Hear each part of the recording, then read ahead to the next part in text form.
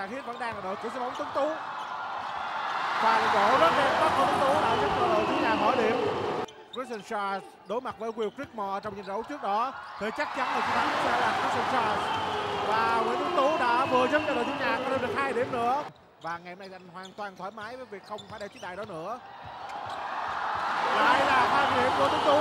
Một pha đột phá rất thông minh để lên độ 6 điểm đầu tiên của trận hết trong đấu này đều được ghi do công của Tuấn Tú.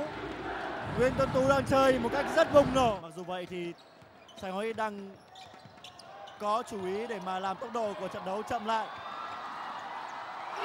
Lại là một pha cái điểm đường của Tuấn Tú.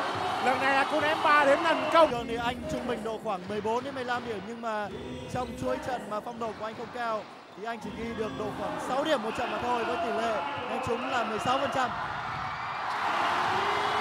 Và vợt rất đẹp bắt giữa Tuấn Tú và Lenny Jennings. Nhưng lần này thì bóng dội rổ và cao thủ hết đang có cơ hội để tấn công.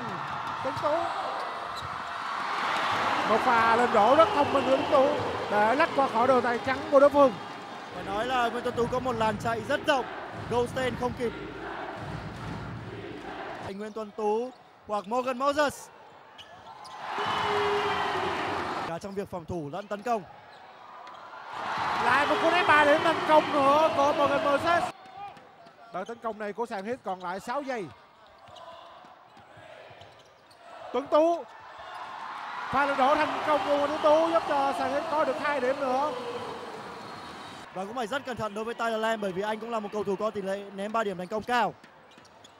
Tyler Lamb và Goldstein đang thay phiên nhau thực hiện những cú ném 3 điểm cho Van Gogh Nhưng vừa rồi thì đến lượt Lenny Daniel thực hiện.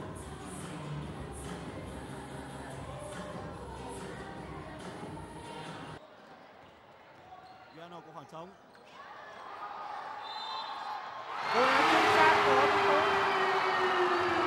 3 điểm cho Sài và Tuấn Tú sẽ có thêm một quả đá phạt nữa khi anh đã bị Steven Thomas phạm lỗi. Một trong những người đã tham gia buổi tuyển chọn đó. Morgan Moses ném xa bóng đã vào lỗ rất đẹp Tuấn Tú nên thực hiện một pha ném xa chăng Morgan Moses lại ném xa và bóng đã vào lỗ rồi